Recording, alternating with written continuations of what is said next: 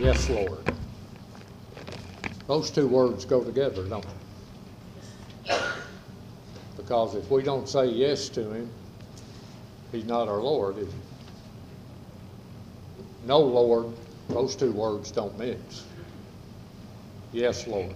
So thank you, choir, for that sermon. that was a good one. Our text for today is Mark chapter 4. We begin with verse 35 and we read through the first verse of chapter 5. Mark 4:35. On the same day when evening had come, he said to them, "Let us cross over to the other side." Now when they had left the multitude, they took him along in the boat as he was. And other little boats were also with him. And a great windstorm arose, and the waves beat into the boat so that it was already filling. But he was in the stern, asleep on a pillow. And they awoke him and said to him, Teacher, do you not care that we are perishing? Then he arose and rebuked the wind and said to the sea, Peace be still. And the wind ceased, and there was a great calm. But he said to them, Why are you so fearful? How is it that you have no faith? And they feared exceedingly and said to one another, Who can this be that even the wind and the sea obey him? Then they came to the other side of the sea, to the country of the Gadarenes. And may God bless the reading of his word this morning. I've been hearing a lot recently about a thing called artificial intelligence, AI for short. Artificial intelligence is defined as intelligence demonstrated by machines, in contrast to intelligence demonstrated by humans or even by animals. Some examples of artificial intelligence computers, robots, self driving cars, self directing drones. Artificial intelligence is already a part of our lives. It's being used by the military, it's used in healthcare, in the medical world, it's used in manufacturing, banking, agriculture, and on and on we could go. It's also used in uh, computers playing the world champion at chess and beating him. And it's also used in computers playing the best Jeopardy players and beating them. Now, they invited me to come, but I didn't have time. I just couldn't work it in. But I use that introduction to point to this. Where this artificial intelligence will lead and how it will wind up, anybody's guess. And I'm not running it down or being critical of it, but there's a thing that I call authentic intelligence, actual intelligence. It's intelligence that you don't get from a machine. It's intelligence that you get from life. And it's the intelligence that you get from the storms of life. Authentic, actual intelligence. That is best learned by us and it's best taught to us in the storms. And in the storm we just read about, I want to give you four examples of what I call authentic intelligence. And as you'll see, you don't get these four from any machine. I don't care how smart the machine is. The first lesson is life is stormy. Life is stormy. The disciples and Jesus are sailing across the sea. Everything is okey dokey and hunky dory, lovey dovey. The stars are out, the sea is calm, life is good. Another day in paradise. And then in verse 37, all of a sudden, out of the blue, out of nowhere, a great windstorm arose. The waves beat into the boat, and the boat filled with water. And, folks, if that's not an accurate description of life on earth, I don't know what is. Our life is going well, things are good, stars are out, the sea is calm, and then boom, the storm hits. The waves beat us and our boat begins to fill up. The storm may hit us in our family and home. The Storm may hit us at work. The Storm might hit us at school. The storm could hit us at the courthouse. The Storm could even hit us at the ball field. And the storm could hit us at church. The storm may hit us at the doctor's office, the hospital, the nursing home, or the funeral home. My point is simply this there is no way to sail the sea of life and not get hit by storms, and not get beat up by storms, and not get soaked by storms. The storms of life are unavoidable and inescapable. The storms of life are sure and certain to find us, and when they find us, they try to flood us. There is no one or no thing that can exempt and exclude us from the storms of life. Life is stormy, and you don't get that from a machine.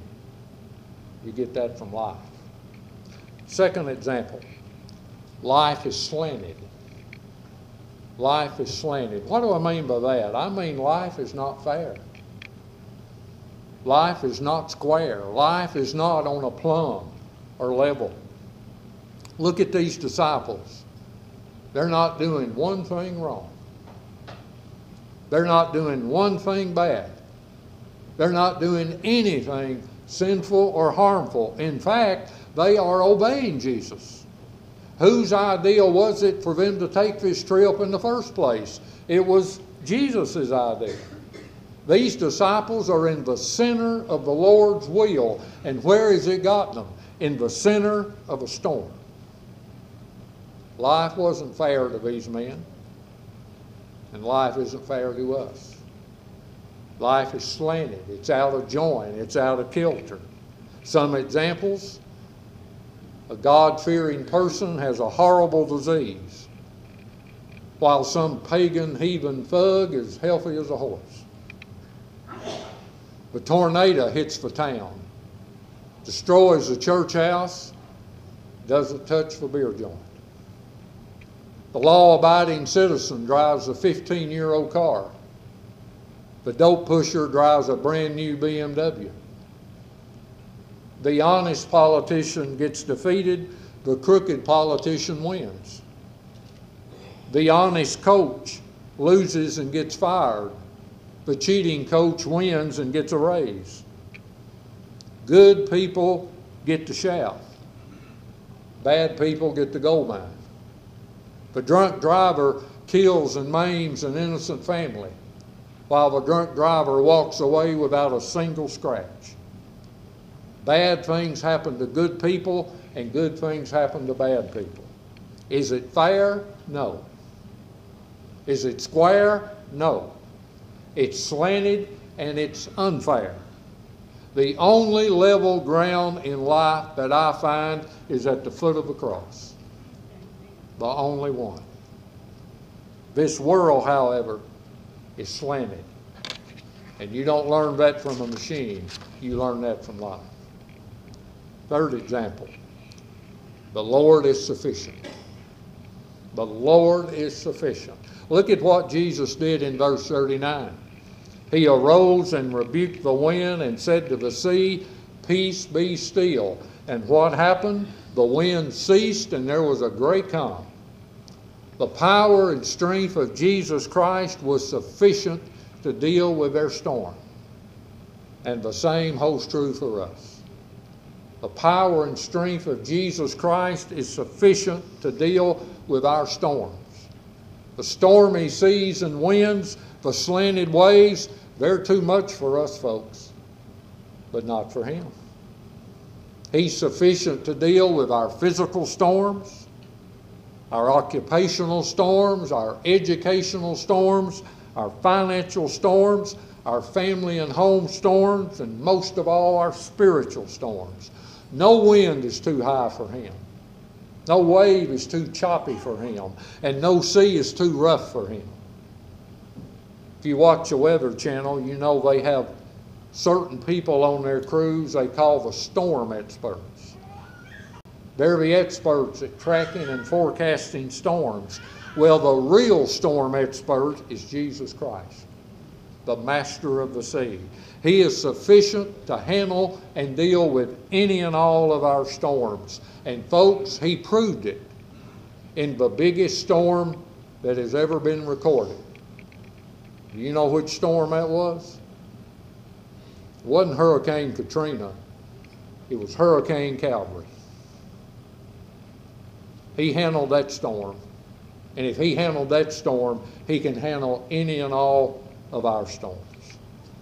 Jesus was sufficient for their storm, he's sufficient for our storm. And you don't learn that from a machine. You learn that from life. And then there's a fourth example. The landing is safe.